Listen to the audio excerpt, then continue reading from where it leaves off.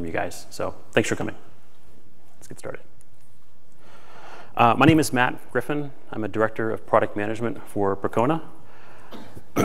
if you are not familiar with Percona, we're a, a database uh, services uh, and software company focused on MySQL and MongoDB.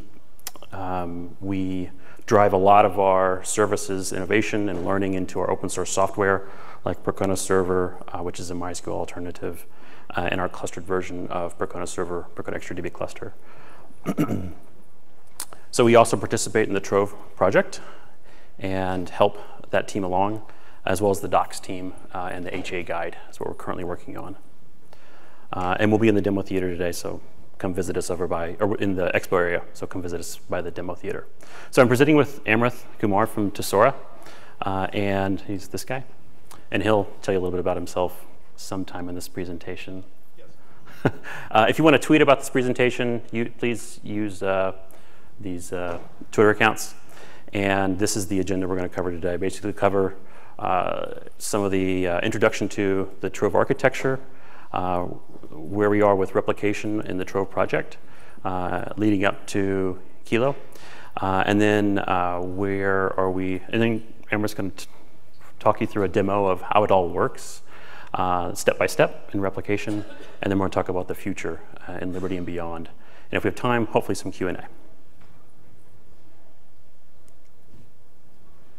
So, but let's first begin to understand where do we stand right now with Trove. Um, this is the user survey, and the bottom left is, are stats from the November 2014 results showing where Trove is in terms of the top bar is production, then dev test, and then POC. So 9% production, 9% dev test, and 16% of reporting clouds have, uh, are using Trove and 16% in, in POC. This is great because when you look at the current results that were just released a few days ago, that's the uh, just above the six months ago area, you can see that there's definite growth in production uh, clouds running Trove, up at uh, it's 12% if you, if you, can't read it. Then 13% in dev test, which is actually a really, really uh, component uh, or part of, of the cloud experience and using clouds. Um, Amrith's colleague, Ken Rugg, had an awesome article uh, in Superuser about it uh, a few months ago about the importance of dev test. Uh, and then what's, I think what's really, really promising is the rise in POCs. And so this is at 19%, I believe uh, which is really, really great. And I'm uh, anxious to see what the results of these survey uh, are at the uh, next, next time. Um, so uh, I think that's here, yeah. So these are the stats. Um, next, we will talk about why do you want to replicate?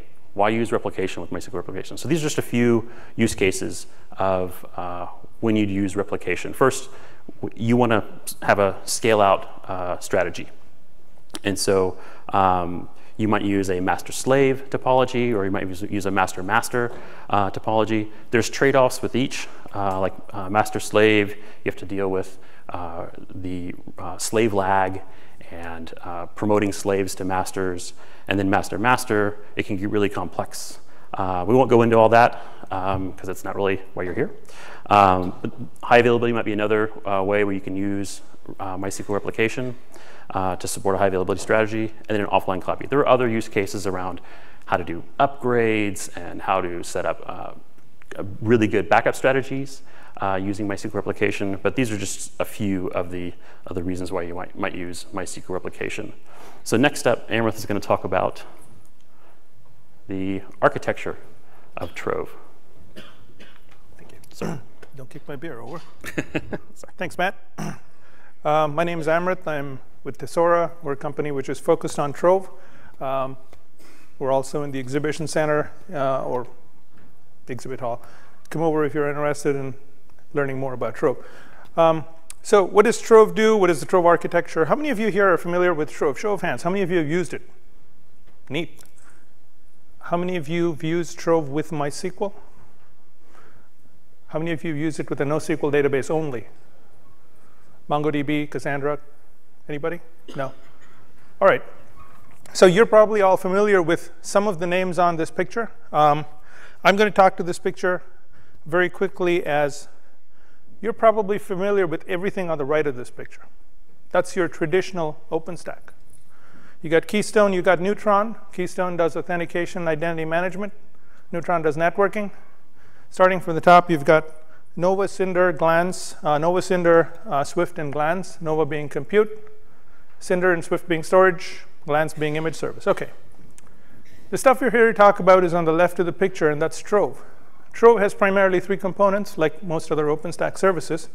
There's Trove API, exposes the Trove RESTful API. The Task Manager, which does most of the heavy lifting. And Conductor, which we'll talk about a little bit, does some very important offline, um, out-of-band things which are useful for databases. The objective of Trove is to give you a database as a service. You need to be able to provision and use a database without having to bother about all the minutia which goes on in provisioning, managing replication, or clustering, or all of those things. All right? The way in which all of this works is requests go to the Trove API. I can't quite point. Oh, I can. All right. Requests go to the Trove API. You get your responses from the Trove API.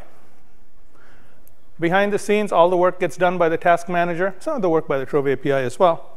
And they communicate internally over a message bus. All right? By the way, if you have questions at any point, raise your hand, stop, ask. Right? Very important thing to remember about Trove is that Trove provides you frameworks with which to build a database as a service. Trove is not a database. With Trove, you get databases you already know and hate. MySQL, Oracle, Mongo, whatever. Trove is not that database. Trove helps you orchestrate databases. Okay? So you can provision an instance with Trove. Trove takes care of the provisioning for you. At the end of the day, what you get is a MySQL database, for example. If you want replication with MySQL for all the reasons Matt mentioned, Trove will help you provision a replicated pair of databases. Trove does not itself do the replication. MySQL does replication just fine, thank you very much. We just give you a replicated pair of databases which you can use.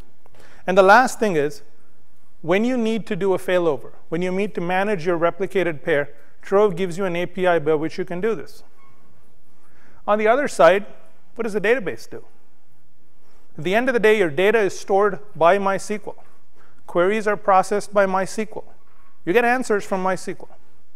The actual movement of bytes for replication is done by MySQL. So there's a very clear contract here. What does Trove do? What does the database do? All right? Um, so Trove provides a framework the first version of this framework came out in Juno. Uh, for those of you who are familiar with other OpenStack projects, we use the standard strategies mechanism. In Juno, we supported asynchronous replication with what MySQL talks about as binlog replication. Quick show of hands. How many people here know what binlog replication is as opposed to GTIDS? Great. OK, this is going to be a short presentation, guys. Um, so in Juno, um, version 1 of replication was built for MySQL 5.5 and was built around binlog replication. OK. Um, for those of you who are really interested in going and looking this up in the source tree, Trove guest agent strategies replication MySQL binlog is the actual implementation of V1 of replication. In Kilo, um, we added a new capability here. I say we. I didn't write any of this code. There's other people sprinkled all over this room. All right, quick show of hands. How many of you here are Trove uh, contributors? Just raise your hands, please. All right, there's a whole bunch of people here. Blame them and one guy over there if there's any bugs, all right?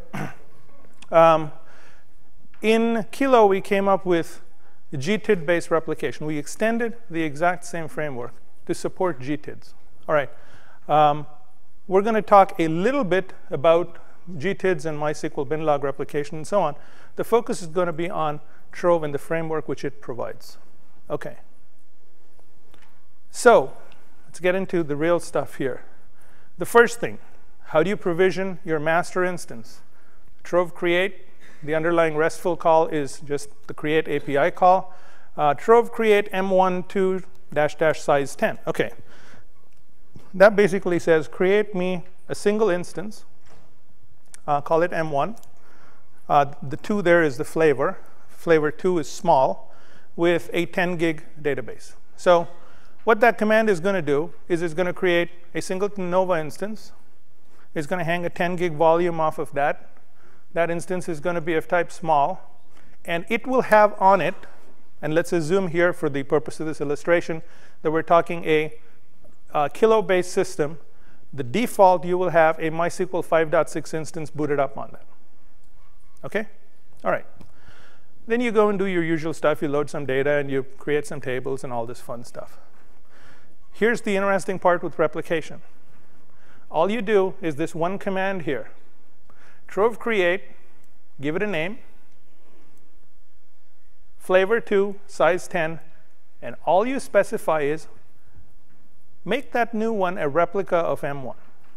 You just created an instance called M1 up there, and you just added this little piece up here. And what, yes, go ahead.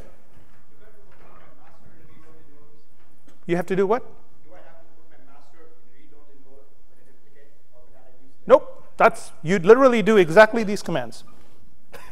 Um, it will all be taken care of for you. Um, now, we'll see why you don't have to do that. And you can do this as many times as you want. At the end of the day, you get a picture which looks like this. This would be M1, and this would be, you know, all the replicas. Um, and for those who are going to be watching this video later, the question was, do you have to put the master in read-only mode before you do the replicas? The answer is no. OK. So what exactly does Trove do? This is really the guts of replication. You gave it this simple sounding command. So what Trove does, and this is GTID-based replication, MySQL 5.6. First, it's going to create a snapshot of the master. MySQL knows how to create a transactionally consistent snapshot. I don't need to put the database in read-only mode for that. Database runs along just fine. But we also store, MySQL stores the master log position in GTID form. Then Trove goes and creates a new instance, and it launches it.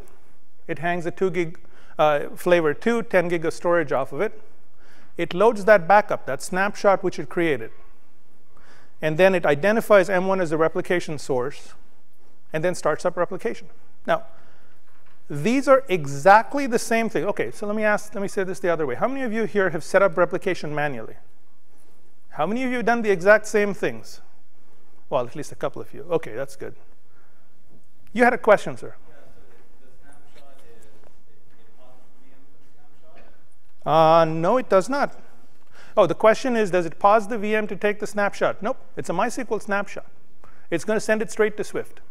OK, so it's effectively going to take a snapshot from MySQL's perspective. The VM is, the VM is going to transition for a short while into, quote, backup state. Let me look to the guy who wrote this. It goes for a second to the backup state, correct? OK, and then it'll come back out. But no, it doesn't. You could. It, use, it uses um, Percona XtraDB backup. Under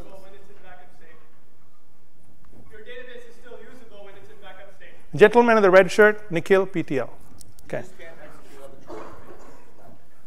Good, good point. Uh, while it's in backup state, other Trove commands will fail because it'll say in backup state you can't execute other commands, but your data plane access still goes on fine. You do exactly these same steps if you set up replication manually. So in Juno, again, in Juno, we did this with traditional bin log replication. Only master-slave topologies, any number of slaves you wanted. Um, none of the other fancier topologies possible.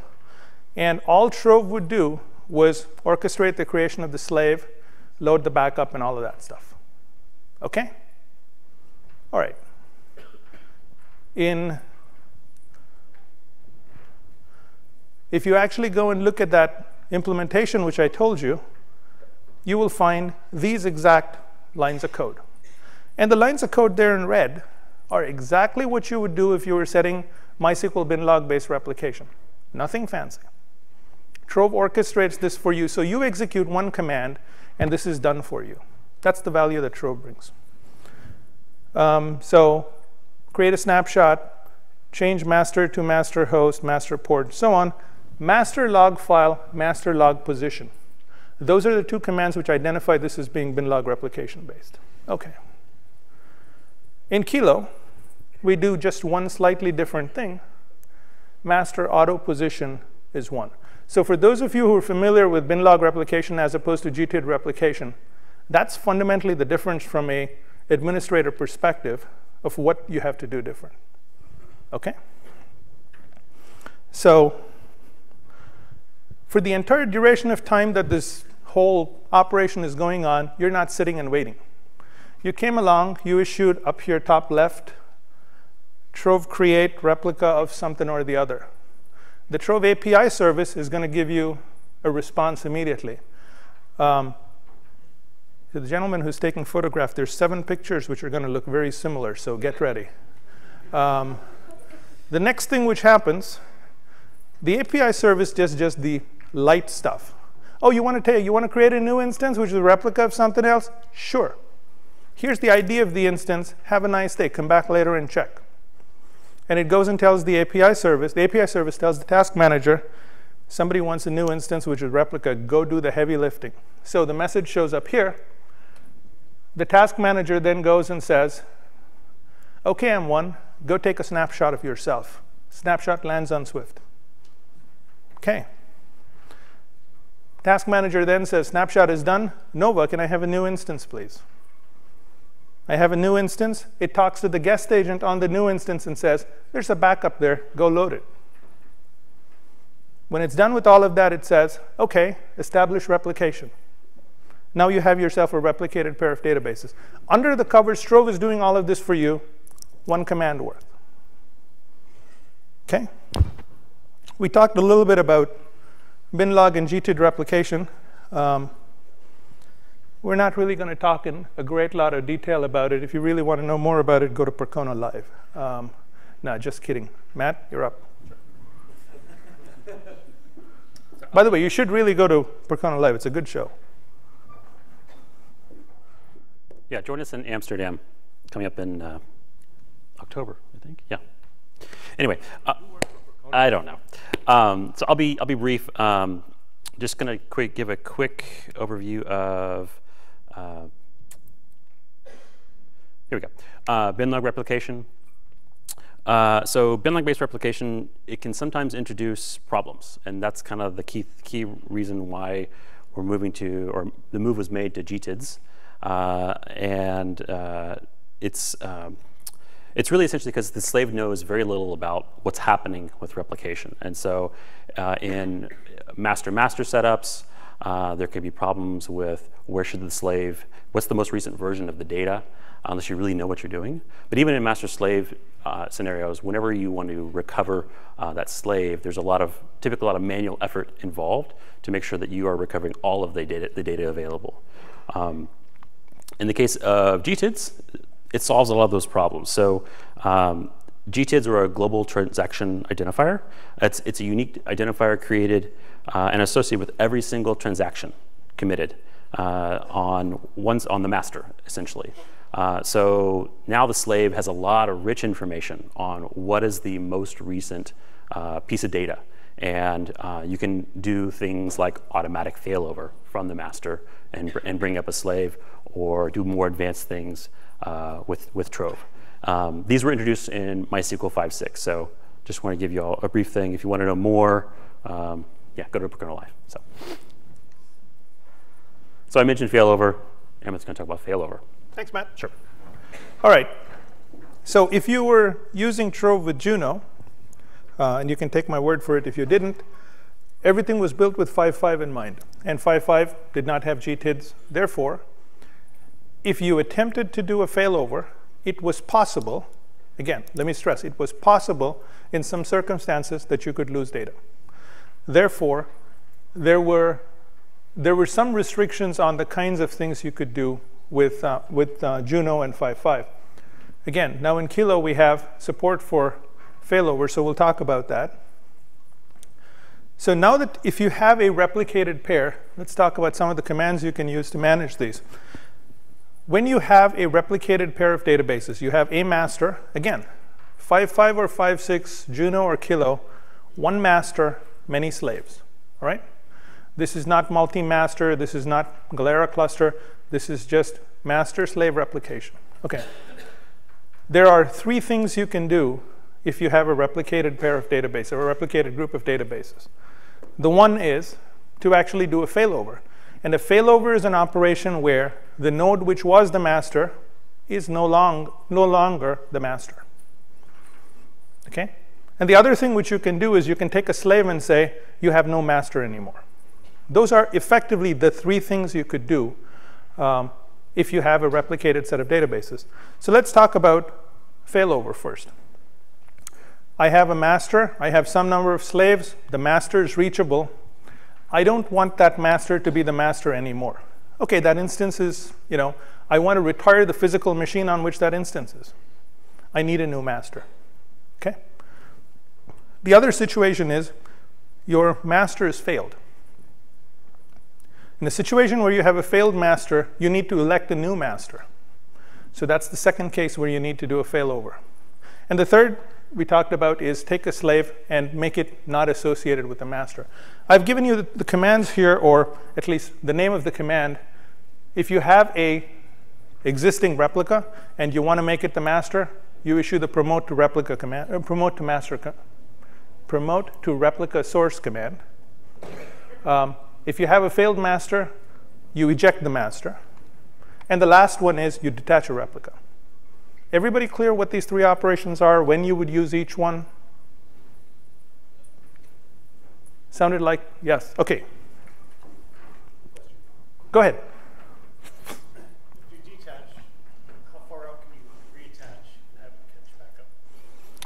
If you detach, how far can you? OK, so I'm going to go out on a limb here, and we'll find out if I'm right. OK, uh, I believe you cannot attach it again. Am I correct? Yeah, I win a prize. All right. Um, OK. Um, you'll see that, actually. There's a slide later which shows that. You rip it off, and then it's totally done. Sorry, somebody here had a question? No. All right, so I'm going to start with this illustration here. This was that instance M1. Um, it has three replicas, a master, three replicas. It's running 5.6. Um, this is, by the way, annotated output from Trove Show. Trove Show is actually a whole lot more information, which I just ripped out from here. So this is what it looks like as a picture. I have a master. It has three slaves, 12, 13, 14. So the first thing which I'm going to do is I want to take 14 and make it the master. So what I want to do is go from this picture here to this picture here. All right. So question, anybody can answer this. Raise your hand. What is the What's the command you'd execute? What are you going to target?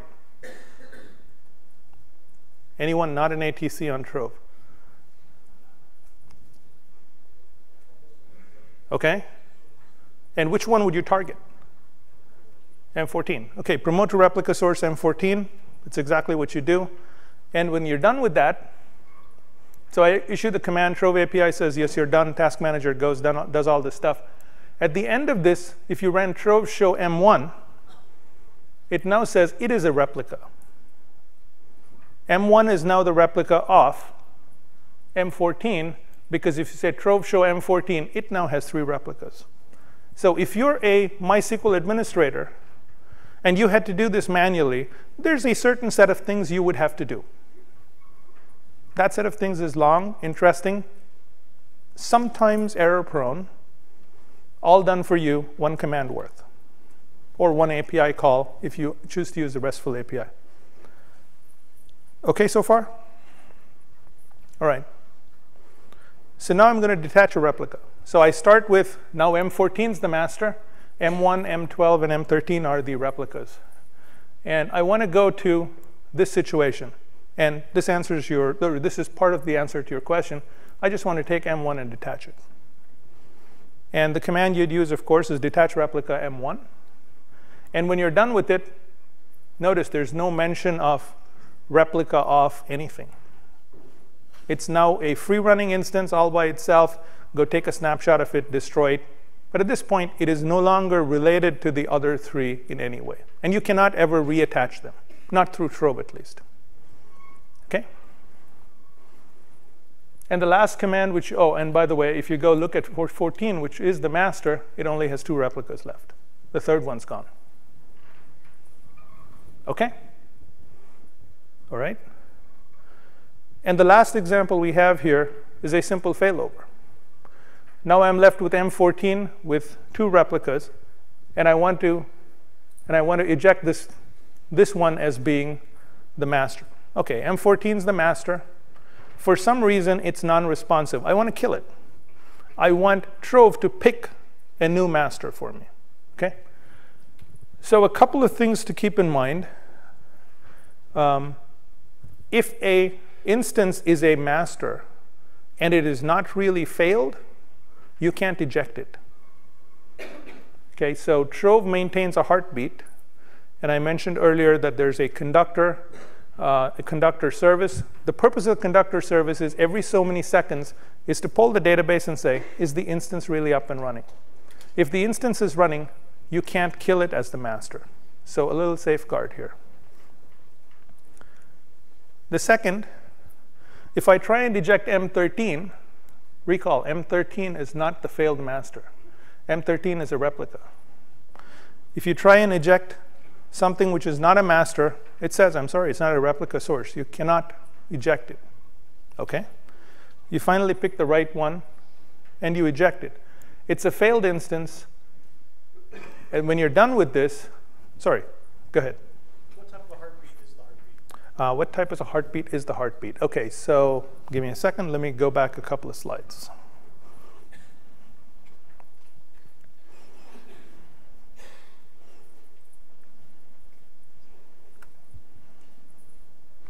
OK, so when you create a Trove instance, a, a Trove instance, master, replica, whatever you have, it's one of these things up here. It's a Nova instance which has MySQL and a guest agent. Guest agent is a piece of software which exposes a Trove-specific API and an implementation which is specific, in this case, to MySQL. So if you had replication for some other database, for example, the mechanism for doing replication would be a different set of commands. This guest agent generates a heartbeat every, I think it's every minute. And that message is sent by it over the message bus to the conductor. The conductor stores that in a persistent database here. So it's basically doing a MySQL ping under the covers.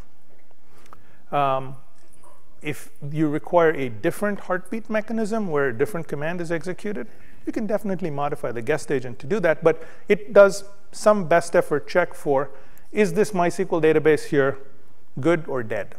That's what it does. And there's a, there's a measure for how long it should have not have a, had a heartbeat before it'll be considered to be dead. Um, I think that number is one minute. So we're here and I want to eject this guy. When I'm done with it, if I looked at M12, it would say M12 has exactly one replica. Remember, you just shot M14. M12 and 13 are now the two databases left. One is, a one is a master, one's a replica. Yes?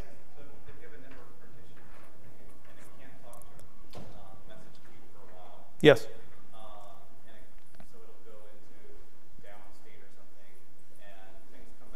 Correct. No, it, it comes back up properly, and here's, here's one of the reasons why. Sorry, the question was, if you had a network partition, the guest was not able to talk to the uh, talk to Trove for a while, and then you shot it, and then something happens, and the network comes back up, will everything be happy or not? Paraphrase, that's your question. The guys at MySQL have spent a long time figuring out how to do replications and masters and slaves. All we're doing is we're telling one guy he's the master. If you tell a person he's a master, and another one comes up and says he's a master, there's a quorum election process which says, I'm sorry, your GTID's not as new as mine. Go away and sit in the corner. So Trove does not get in that process at all. Trove just leaves the database to do what the database can do just fine.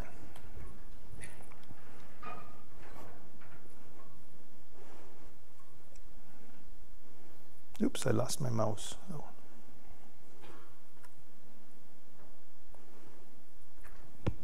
Okay, so we're now down to two instances. One's a, repli one's a master, one's a replica.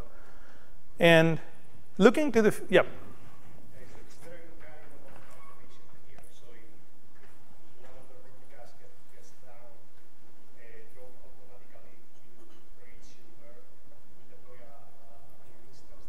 Okay, so the question was, is there any automation built into Trove where if a instance fails, Trove automatically does failovers? At this point, there is not, but uh, this slide says, coming soon, there will be.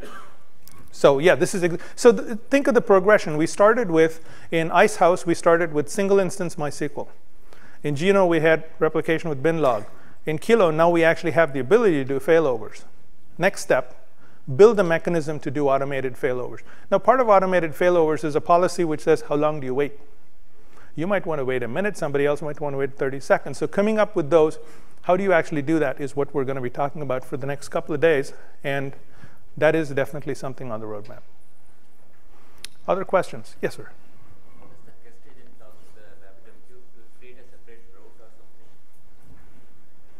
How does guest agent talk to Rabbit? Oh, okay. So I keep losing this mouse.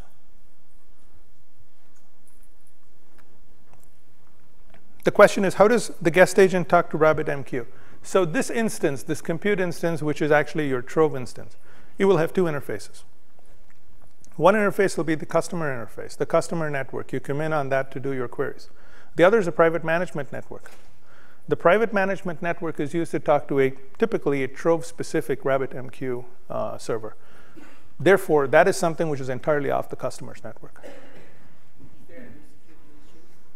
Um, is there any security issues?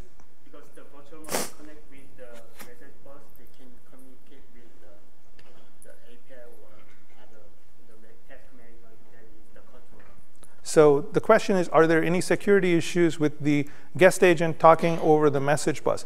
The only thing which it can communicate to is to the conductor. The only thing which it sends messages to at this point is to the conductor. And the only messages which it sends are uh, the heartbeat message, and in some cases, it sends other information. Um, when, you, when you create an instance, there's some specific message which go over that. So there are there are things which you have to do in order to harden it. Um, we're going to be talking about several of those. There's been discussions on the mailing list about some of these. Over the next couple of days, we're going to be talking about some of those things.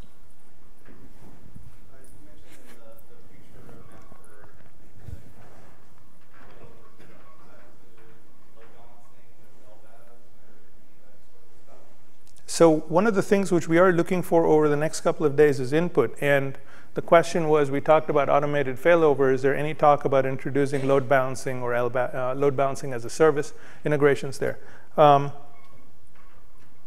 I have not seen a blueprint for that at this point in time. We've had some conversations about how far we need to go in this release. Over time, I assume people are going to want all of these capabilities. There is, of course, the question of, does that fall within the purview of database as a service? Or is there something else which you would want to? So I'm not saying the answer is no. I'm also not saying the answer is yes. The answer is it's a good question. So um, we'll start at the back. Gentleman in the back.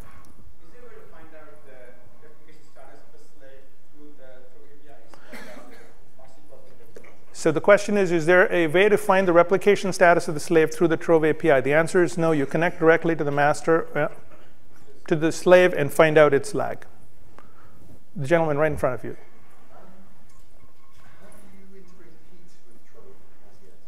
Trove, uh, the question is, have you integrated Trove with Heat as yet? The answer is, um, this question came up this morning. It depends on whether you want Trove to orchestrate instances with Heat or Heat to orchestrate Trove instances. Heat to orchestrate Trove instances. I don't know the answer to that. Oh, sorry, go ahead. Answer is, yes, it does. Gentleman behind you said so. Uh, somebody here had a question. Yes, sir. Uh, can I use it, uh, replication without Swift? Can you use replication without Swift? Um, so the reason we use Swift is as a place to put backups. If you don't have Swift and you have some other storage mechanism which supports the Swift API, I believe the answer is yes. Uh, and I'm going to look over in that direction and say, was I right or wrong? You need Swift. Okay, I was wrong. Happens once in a while. So can, you, can I ask a question? Okay, what is the question? The question here is, what exactly do you need from Swift? Is it Keystone authentication? What more do you need from Swift? Or is this a question which we should hold for the next two days? Okay. Other questions? Uh, sorry, it, it, it, does work with who? Oh, that doesn't sound like a question. It's, you're saying it does work with the Rados gateway.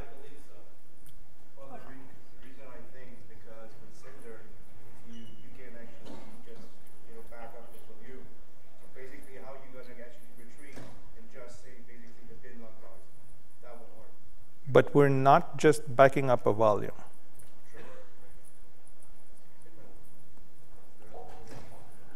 Okay, other questions? Uh, there was one other hand there. Thank you.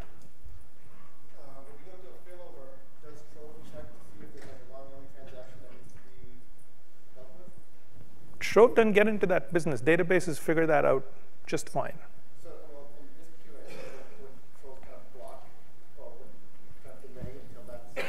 Trove, no, if, if you issue the command which says, I want to do a failover, we'll try as immediately as possible to get that command down to whichever database instance. If the database decides to say, oh, there's a long-running transaction for some reason I can't do the failover, yeah, the task manager is going to have to wait for a while to get a response. But Trove itself does not know anything about what's going on on the database under the covers, what transactions are going on under the covers. Yes, sir.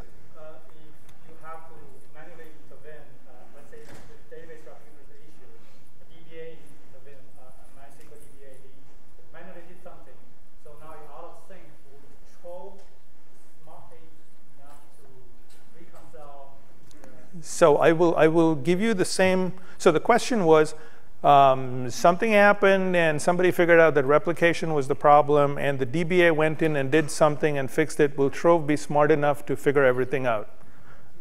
To recon, okay. So there's a little warranty on the back of my phone which says if you open it, all bets are off. if you SSH in into an instance which is running Trove, all bets are off. Same story. Because at that point, I've given you, choose your metaphor, I've given you a gun with a whole lot of bullets and I've said, do whatever you want with it. I have no idea at the end of that what's going to happen. You can do a whole bunch of things which Trove just has no way of ever discovering. So all bets are off. How about ARM? Do you have so many of your roadmap with Trove? I missed the first part of that. Where in the roadmap do you? Um, so the question is, where on the roadmap do you have integration with the Oracle database? Okay, so with Trove.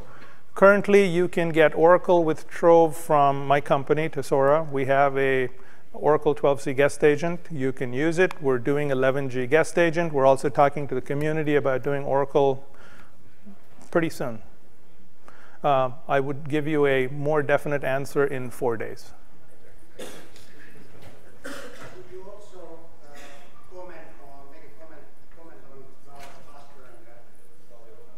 We are very, very interested in. Uh, we are very interested in doing Galera Cluster, and uh, we'll be talking about it with you um, and with the rest of the community in the next couple of days. Um, there is a there is a very significant interest and demand for uh, replication. Not everybody is comfortable with just having asynchronous replication. So yes, there's a demand for Galera Cluster and we're going to do something with it. Do you have plans for a PostgreSQL cluster? Yes.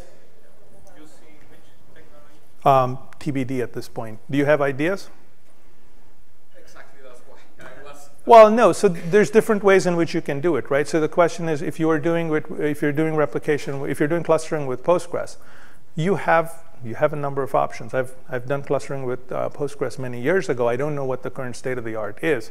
But if you do, we're going to be talking about it over the next couple of days. So come on over. You're not allowed to ask questions. I'm sorry. oh, you're saying I'm out of time. Oh, okay. One last question. Sorry. Oh,